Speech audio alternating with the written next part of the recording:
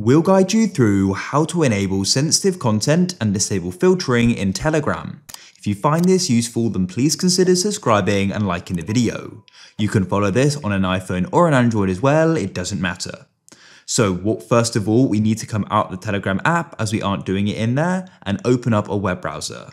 In your web browser, you need to go and open up the address bar by clicking on it and you need to go and type in web.telegram.org. It'll go and look like that and then go and press go or enter. We'll be taken to this page here. What we need to do is choose our country, it should automatically find it, and then enter in your phone number. You're going to be sent a code in the Telegram app. After you've entered that code, you'll then be signed into Telegram. Go to the top left of Telegram and go and click on the three lines like so.